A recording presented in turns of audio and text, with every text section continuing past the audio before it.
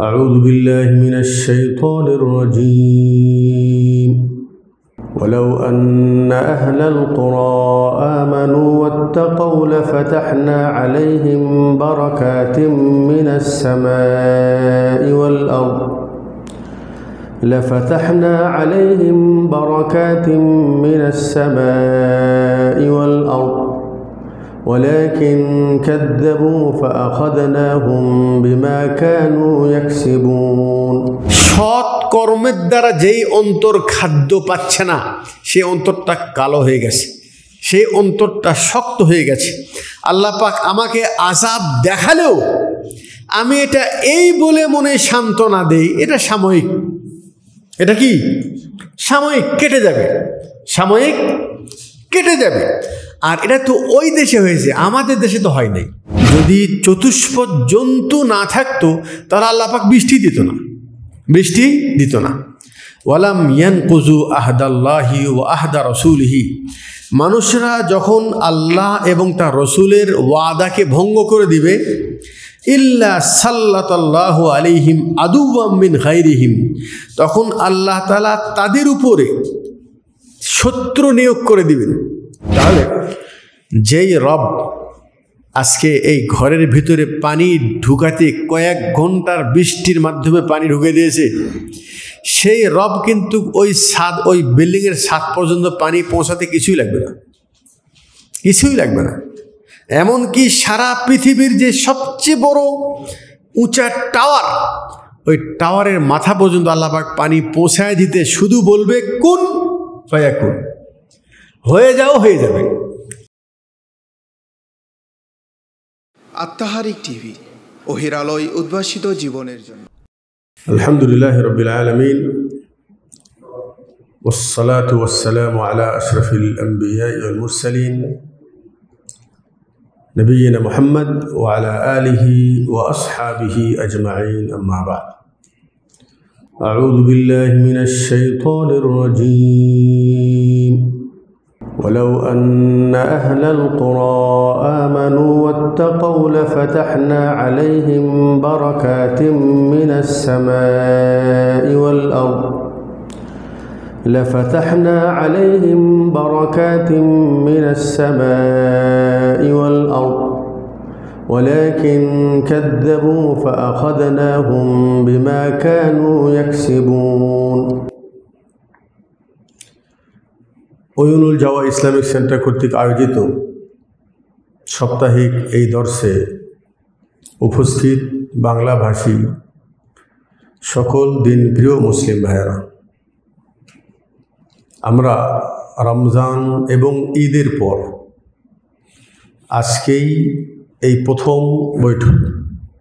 ইনশাআল্লাহ আজকের পর নিয়মিত দর্শ এইভাবে চলবে ইনশা আল্লাহ তালা আজকে এই সংক্ষিপ্ত বৈঠকে দুইটি বিষয় আলোচনা করব।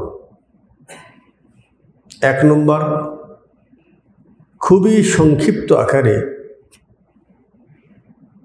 যে মুসলিমদের ধারণা এবং তাদের আমল আকিদার মধ্যে একটি ভুল ধারণা, সেটা ধরিয়ে দেওয়া। আর এরপরে বর্তমান প্রেক্ষাপটের আলোকে কিছু কথা বলব ইনশা আল্লাহ তালা প্রথম যে কথা সেটা হলেই, রমজানুল মুবারক মাস শেষ, মুসলমানদের ইবাদতের অবস্থা একেবারে অবনীত। রমজানে মসজিদ ভরা মানুষ, ফজরের সময় মসজিদ ভরা মানুষ মাশাল্লাহ শ্যাম পালনকারী তাহাজ তারাবি পালনকারী এবাদত বন্দগীকারী রমজান শেষ, আর ফজর কেন?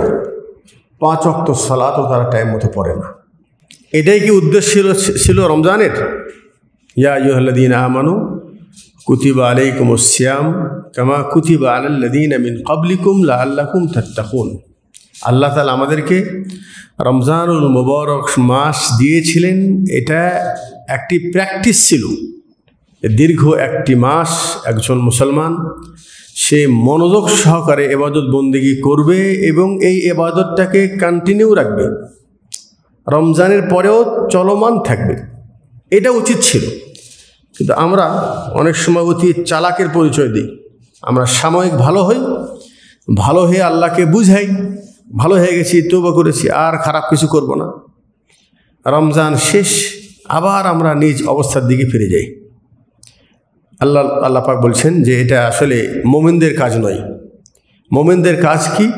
ইন্নাল্লাদিন কালু রব্বুন আল্লাহ সুম্মাস্তাকামু যারা ইমান গ্রহণ করবে এবং ইমান গ্রহণ করার পর ইমানের ওপর অবিচল থাকবে। ইস্তেকামাত। পরিবর্তন হবে না। ইমানকে টিকে রাখবে। সৎকর্ম যেটা চালু করবে, সেটা কন্টিনিউ রাখবে। কিন্তু মুসলমানদের ভিতরে ভুল আকিদা কি? এরা কখনো বেশি ভালো হয়ে যায়? আর যখন বেশি ভালো হয়, তখন একসাথে অনেক কিছু ভালো কর্ম করে ফেলে দেয়। কদরের রাত্রে পুরা রাত জেগে ইবাদত করেছে। পরের দিন ফজরই নেই।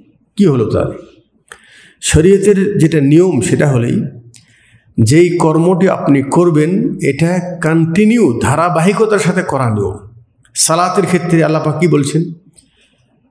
ইল্লাল মুসাল্লিন আল্লাদিন হুম আলা সালাতিহিম দা ইমুন সালাত আদায়কারী ওই ব্যক্তি যে কন্টিনিউ দা ইম সবসময় সালাত আদায় করে। ইউ হাফিজুন যত্ন সহকারে সালাত আদায় করে। অতএব মুসলিমরা, তারা এখন দিন ধর্মটাকে নির্দিষ্ট নিয়ম বা নির্দিষ্ট সময় বা নির্দিষ্ট কিছু এবাদতের মধ্যে সীমাবদ্ধ করে দিয়েছে। মুসলমান তিনি সবসময় তার ভিতরে আল্লাহর ভয় থাকবে এবং সে নিজেকে ভালো কর্মশীল হিসেবে গণ্য রাখবে। এটা হলো এক নম্বর কথা। দুই নম্বর কথা, যে কথাটা বলছিলাম যে বর্তমান প্রেক্ষাপটের আলোকে আমরা কি কিছু চিন্তা ভাবনা করেছি? সেটা কি? যে কিছুদিন পূর্বেই দুবাইয়ে এই মরুভূমি দেশ, যেখানে মানুষ কখনো বৃষ্টি দেখতো না, বৎসরকে বৎসর বৃষ্টি হতো না। আল্লাপাক কয়েক ঘণ্টার বৃষ্টির মাধ্যমে সেখানে কীভাবে প্লাবিত করেছে সেটা আমরা সোশ্যাল মিডিয়ার মাধ্যমে দেখতে পেরেছি। ঠিক তেমনই বাংলাদেশে এখন অনাবৃষ্টি এবং প্রচণ্ড গরম। যেই গরম কোনো সময় মরুভূমি দেশে অনুভব করা হতো, তার চাইতে বরং আরও বেশি গরম এখন বাংলাদেশের মানুষ তারা অনুভব করছে, তারা দেখতে পাচ্ছে। এমনকি গতকালকে ফেসবুকে দেখলাম, মেহেরপুর জেলায় সেখানেই টিবল থেকে পানি উঠছে না। মানে নিচের পানি পর্যন্ত শুকিয়ে গেছে। তাহলে এই যে দুনিয়াতে বিপর্যস্ত হয়ে গেল এখানে বন্যায় প্লাবিত, একই সময়ে আর দেশে অনাবৃষ্টি, বৃষ্টি নেই। আবার নিচের পানিও শুকে যাচ্ছে। কি বুঝলেন? কিছু বোঝা গেল? আসলে এসব কিছু ঘটতেছে, এটা আমরা দেখতেও পাচ্ছি। কিন্তু আমরা কি কখনো আমাদের এই জ্ঞান দিয়ে বোঝার চেষ্টা করতেছি যে আসলে এর পিছনে ঘটনা কি? বিশ্বে এখন এমন অ্যাডভান্স প্রযুক্তিতে, এমন অ্যাডভান্স দেশ পৃথিবীতে এখন সৃষ্টি হয়েছে যে তারা নিজের সংরক্ষণের জন্য এমন বুলেট গাড়ি তৈরি করতেছে যে সেই বুলেট গাড়িতে বোম মারলেও হয়তো বা ক্ষতিগ্রস্ত হবে না। গুলি করলেও তার গ্লাস ভেঙে গুলি ঢুকবে না। নিরাপত্তার জন্য মানে যত বেশি অ্যাডভান্স হচ্ছে পৃথিবী, কিছুদিন আগে আমরা দেখলাম, ইরানের থেকে শত শত মিসাইল নিক্ষেপ করা হয়েছে ইসরায়েলের দিকে। কিন্তু সেই মিসাইলগুলি পড়ার আগেই সেটাকে নষ্ট করে দেওয়া হচ্ছে। তাহলে দুনিয়াবি ক্ষেত্রে একজন আরেকজনের আক্রমণ থেকে বাঁচার জন্য, সংরক্ষিত হওয়ার জন্য আমরা কিন্তু অনেক রকম ব্যবস্থা গ্রহণ করেছি, করি নাই? এবং সংরক্ষণ হতেও সম্ভব হচ্ছে অনেক ক্ষেত্রে। কিন্তু এত অ্যাডভান্স পৃথিবী কই তারা এই দুবাইয়ের এই বর্ষা থেকে, দুবাইয়ের বৃষ্টিকে তারাকে বন্ধ করতে পেরেছে? পেরেছে বলেন? কখনো কখনো এমন ভূমিকম্প আসে, এই উন্নত দেশের এই উঁচু বিল্ডিংগুলি একেবারে সমান হয়ে যায়। পৃথিবীর এমন কোনো শক্তি আছে যে এগুলিকে প্রতিহত করবে? এখন বাংলাদেশে বৃষ্টি হচ্ছে না। পৃথিবীর কোনো শক্তি আছে যে সেখানে বৃষ্টি বর্ষণ করাবে? এই যে নিচের পানি যে শুকিয়ে যাচ্ছে, এই নিচের পানি পৃথিবীর কোনো শক্তি আছে যে নিয়ে আসবে? অথচ দেখেন, আল্লাহ তালা বহুত পূর্বেই কোরআন মাজিদের মধ্যে এই সব কিছু মানুষকে স্মরণ করে দিয়েছে যে এই পৃথিবীতে যা কিছু ঘটে, এটা এমনিই ঘটে না। একজন স্রষ্টা আছে, একজন রব আছে, যেই রবের ইশারায় এটা ঘটে। আর সেই রব যখন কাউকে শাস্তি দিতে চাইবে, তখন সেই শাস্তিকে প্রতিহত করার মতো ক্ষমতা পৃথিবীর কারও থাকবে না। আসুন আমরা আমাদের রবকে চিনি যে তিনি কেমন। তিনি যখন কোনো কিছু করার ইচ্ছা করেন, ইন্নামা আমরুহু ইদাস আরাদা কুন ফায়াকুন। তিনার জাতে মুবারক এমন তিনি যখন কোনো কিছু করার ইচ্ছা করেন, তিনি শুধু বলেন, কোন হয়ে যাও ফায়াকুন হয়ে যায়। হয়ে যাও, সঙ্গে সঙ্গে হয়ে যায়। ফাসুবহান আল্লাদি বিয়াদিহি মালাকুতু কুল্লি সেই তিনি সেই পবিত্র জাতে মুবারক, যার হাতের মধ্যে সর্বভৌম ক্ষমতার অধিকারী, যার হাতের মধ্যে পৃথিবীর রাজত্ব আছে ওয়া ইলাইহি তুরজাউন আল্লাহ তালা বলছেন সেই রবের দিকেই তোমরা প্রত্যাবর্তন করবে তোমরা ফিরে যাবে সুরা ইয়াসিন তিরাশি নম্বর আয়াত আল্লাহ তালা বলছেন قل أرأيتم إن أهلكني الله ومن معي أو رحمنا فمن يجير الكافرين من عذاب أليم মানে হে মোহাম্মদ সাল্লাম আপনি বলে দেন আরও আইতুম তোমরা আমাকে বলো, ইন আহলাকানি আল্লাহ মাইয়া আও রাহিমানা। আল্লাহ তালা আমাকে এবং আমার সাথীদেরকে যদি ধ্বংস করে দেন, আল্লাহ তালা করতে পারেন না? তিনি যদি ধ্বংস করেন, আও রাহিমানা। অথবা তিনি যদি আমাদের প্রতি দয়া করেন, তাহলে তিনি দয়া করতে পারেন। আল্লাহ তালা মোমেনদের প্রতি দয়াবান। তিনি মোমিনদেরকে কখনো শাস্তিও দেন, কেন শাস্তি দেন? যেন তারা আল্লাহর দিকে ফিরে আসে। ফামাইয়ুজিরুল কাফিরিন মিন আযাবিন আলিম। কিন্তু কাফের, তাদেরকে কে বাঁচাবে? আল্লাহর সেই কঠিন আজাব থেকে। কুল হুয়ার রহমানু, আমান্না বিহি ও আলাইহি তাওয়াক্কালনা। তুমি বলে দাও তিনি রহমান, তিনি অতি দয়ালু। আমান্না বিহি, আমরা তার প্রতি ইমান এনেছি। ও আলাইহি তাওয়াক্কাল্লা এবং তার প্রতি আমরা ভরসা করি। ফাসাতা আলামুন তোমরা অচিরেই জানবে, মান হুয়া ফি দলালি মুবিন, কে স্পষ্ট, গোমরাহি এবং পদভ্রষ্টতার মধ্যে আছে। আল্লাহ তালা বলছেন,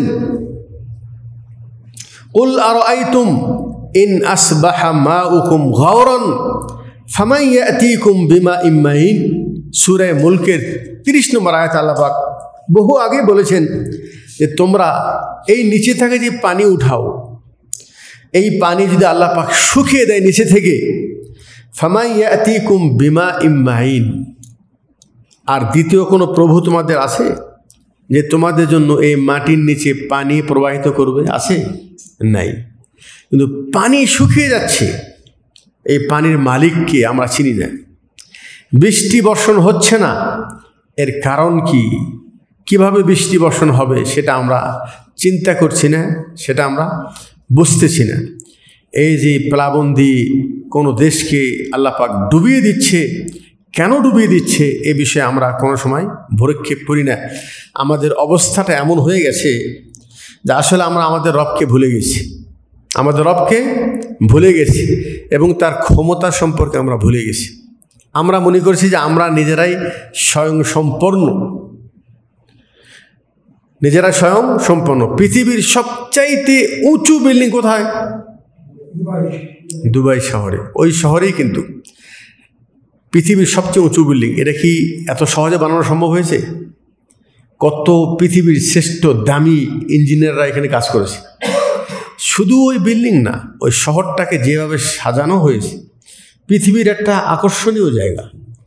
ঠিক আছে? কিন্তু আল্লাহ পাক দেখেন মানে এমনভাবে বৃষ্টি দিয়েছে, এই বৃষ্টিটা দেখে আমাদেরকে আল্লাহ পাক স্মরণ করে দিচ্ছে যে দেখো, আমি যখন নু আলাই সালামের সম্প্রদায়কে যখন ডুবিয়ে দিয়েছিলাম, তখন কিন্তু তারা ভাবতেও পারে নাই যে তাদের এই করুণ অবস্থা হবে। আল্লাহ তালা মানুষকে বুঝিয়ে দেয় যে তোমরা যদি আল্লাহর প্রতি ইমান আনো, আমি যেটা আয়াত পড়েছি ওলাও আন্না আহলাল খরা আমানু এই জমিনবাসীরা যদি আল্লাহর প্রতি ইমান আনে, আল্লাহর ভয় করে চলে, তাহলে আল্লাহ তালা আসমান থেকে তাদের জন্য বরকত নাজিল করবেন। লাফাতাহনা আলিহিম বারাকাত মিনাসমা আসমান থেকে বরকত নাজেল করবেন। কিন্তু মানুষরা সেটা বোঝে না। না বুঝে তারা আল্লাহ পাকের নাফরমানি করে। আল্লাহ পাকের নাফরমানি করে। আল্লাহ তারা বলছেন, এই পৃথিবীতে যা কিছু আজাব আসে, জহরাল ফাসাদু ফিল বার্রি ওয়াল বাহারি বিমা কাসাবাত আইদুন্নাস যা বিপর্যস্ত যা পৃথিবীতে আল্লাহর পক্ষ থেকে আসে, এটা হলো মানুষের হাতের কামাই। মানুষের কি হাতের কামাই? তো সেই যুগের মানুষরা, মুশরিকরা, তারা আল্লাহকে বলতো যখন নবী রসুলগুন যখন তার উম্মুদদেরকে ভয় দেখাতো যে হয় তোমরা ইমান আনো, অন্যথায় আল্লাহর পক্ষ থেকে আজাব আসবে, তো এটা নবী রসুলগুন বলতো, কিন্তু তারা তো দেখে আজাব তো আসে না। আজাব কি? আসে না। তখন তারা কি বলতো জানেন? তারা ঠাট্টা করে নবী রসুলদেরকে বলতো যে তোমার কথা যদি সত্যি হক হয় সত্য হয় যে তোমরা যদি আমার প্রতি ইমান না আনো, দুনিয়াতেও আজাবের সম্মুখীন হতে পারো, আখরাতে তোমাদের জন্য কঠিন শাস্তি আছে। তো তারা বিশ্বাস করতো না। তারা কি করতো না? বিশ্বাস করতো না। তারা বলতো ইনকান আহাদা হুয়াল হক।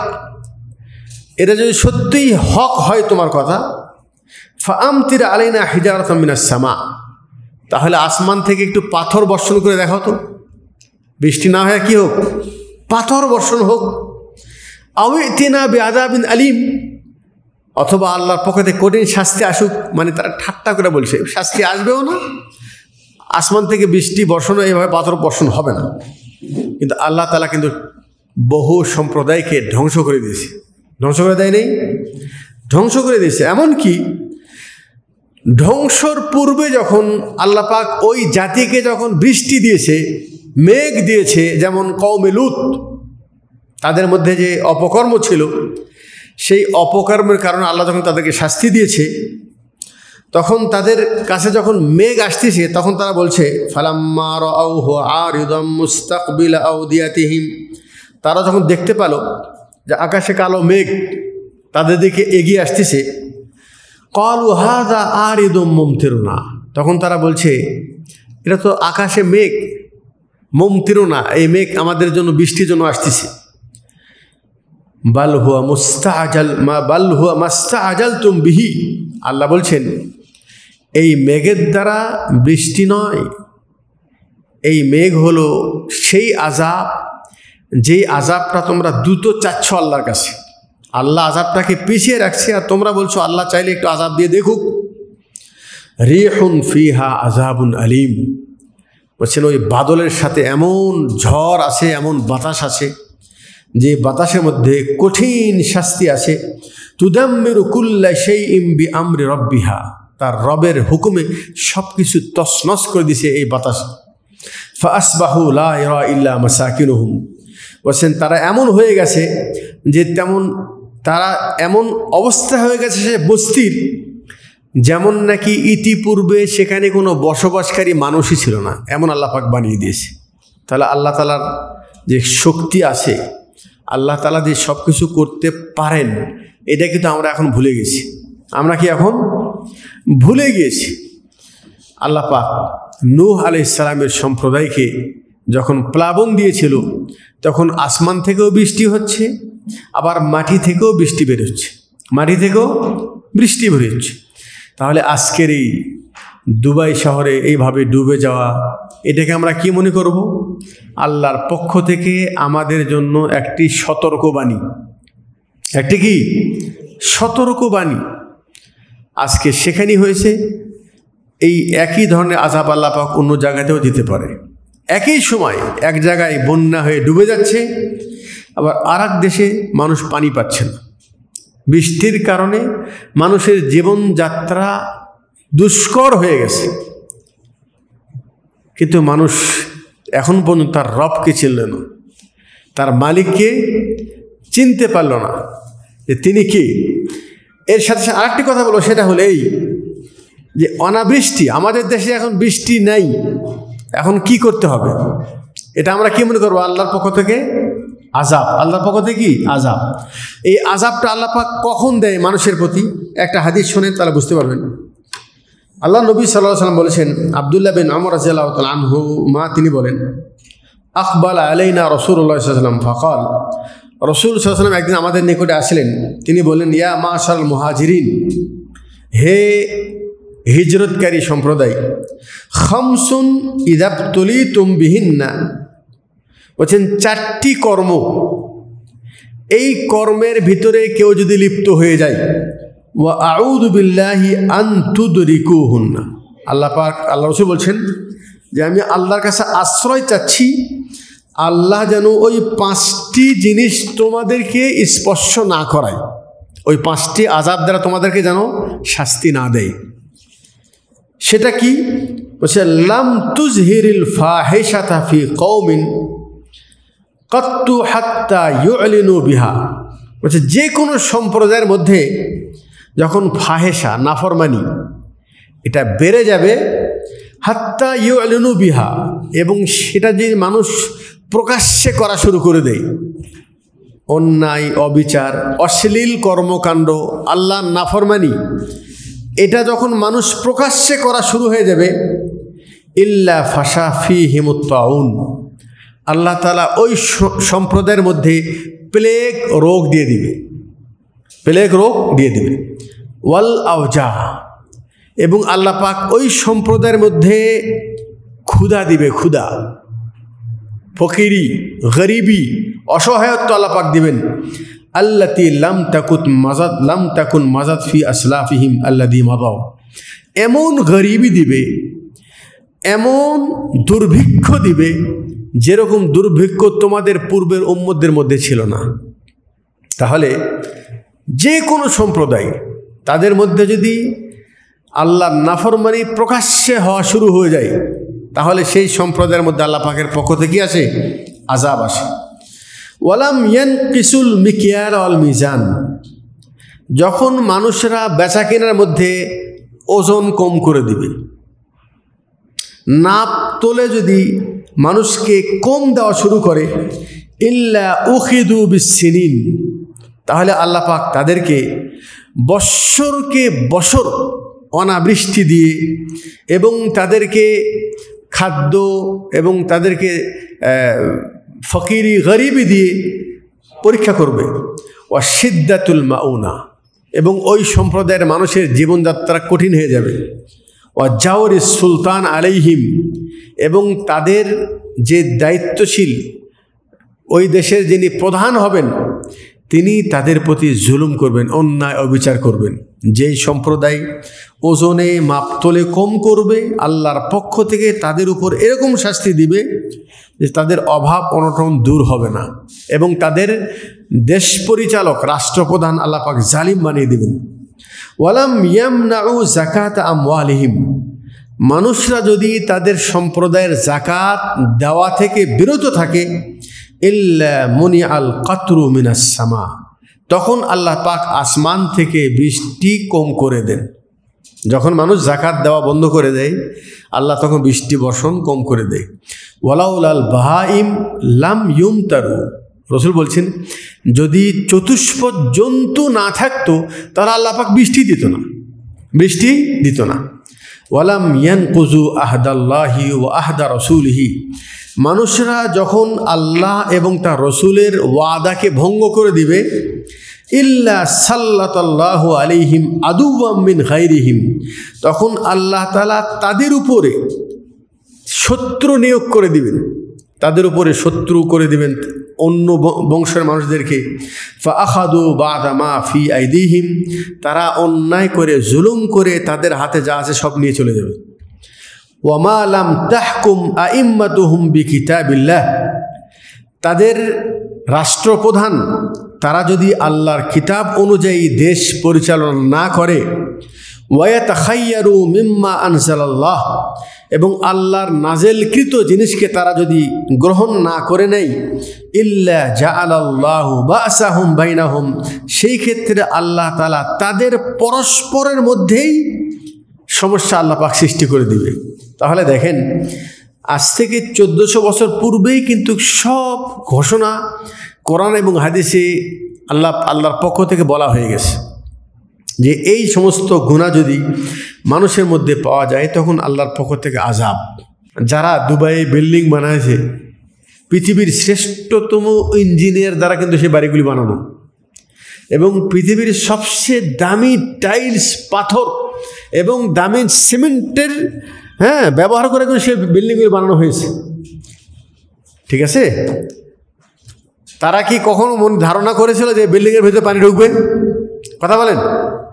ধারণা করেছিল যে শপিং মল যেগুলো আছে, তারা কি কোনোদিন কল্পনা করেছিল যে শপিং মলের ভিতরে পানি নয়, তাজা মাছ সেখানে বেড়াবে?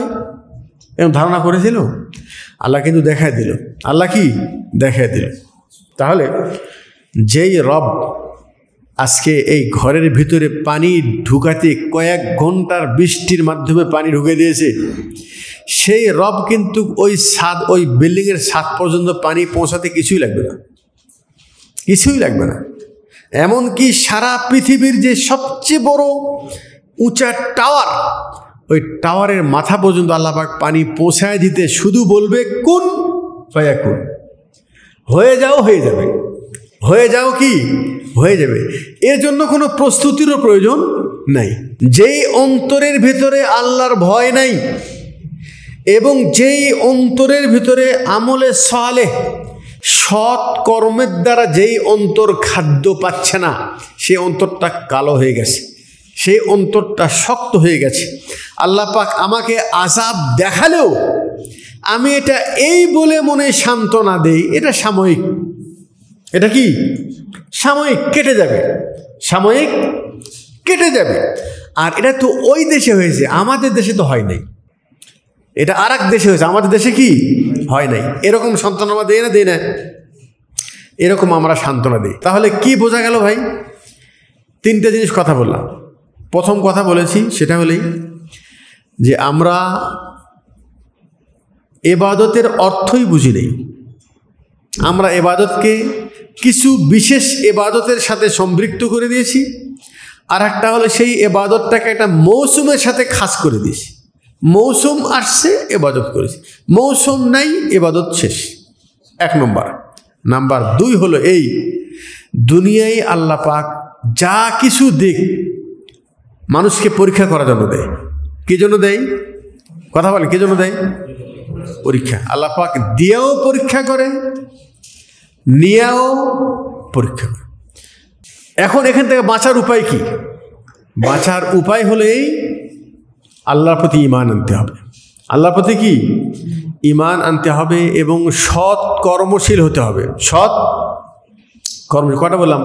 ইমান আনতে হবে, সৎ কর্মশীল হতে হবে। আর একটা হলেই নিজের কৃতকর্মের উপর লজ্জিত হয়ে আল্লাহর কাছে ক্ষমা চাইতে হবে এবং তৌবা করতে হবে। ক্ষমা চাইতে হবে এবং তৌবা করতে হবে আল্লাহ পাক নিজে বলছেন ও আনিস্তাও ফেরু রব্বাকুম সুম্মা তবু ইলাই তোমরা আল্লাহর কাছে ক্ষমা চাও, আল্লাহর কাছে ক্ষমা চাও। আল্লাহর দিকে ফিরে যাও। ইউমাত্তিউকুম মাতা আন হাসানান ইলা আজালি মুসাম্মা। নির্দিষ্ট সময় পর্যন্ত আল্লাপাক তোমাকে অনেক নিয়ামত দিবেন। যতদিন বেঁচে আছেন, সময় আছেন আল্লাপাক তোমাকে নিয়ামত দিবেন। ওয়ায়ুতি কুল্লাদি ফজলিন ফজলা আল্লাপাক প্রত্যেককে যথাযথ সম্মানের অধিকারী করে দেবেন মানুষকে। কি করতে হবে? ইমান আনতে হবে। সৎকর্মশীল হতে হবে। বেশি বেশি আল্লাহর কাছে ক্ষমা চাইতে হবে। ফখল তুস্তাক ফিরো রব্বাকুম ইন্নাহু কানা গফারা তোমরা আল্লাহর কাছে ক্ষমা চাও। আল্লাহ ক্ষমাশীল। ইউরসিল ইসামা আলাইকুম মিদরারা। বেশি বেশি ইস্তেকফার করলে আল্লাহর কাছে ক্ষমা চাইলে আল্লাহ পাক মৌসুলাধার বৃষ্টি দা, বর্ষণ করবেন আসমান থেকে। আমরা প্রত্যেকেই নিজ জায়গা থেকে যদি ইমানের সংশোধন করি, সৎকর্মশীল হই, তাহলে আমরা আশা রাখি ইনশাআল্লাহ আল্লাহ তালা তার আজাব থেকে আমাদেরকে হেফাজতে রাখবেন। আল্লাহ যেন আমাদের বুঝে বুঝে তৌফিক দান করেন। আল্লাহ যেন আমাদের ইমানকে সংশোধন করার তৌফিক দান করেন। আমরা যেন সৎকর্মশীল হতে পারি, আল্লাহ যেন সে তৌফিক দান করেন। সুবাহানকাল্লাহ হামদিকা সাদুল্লাহ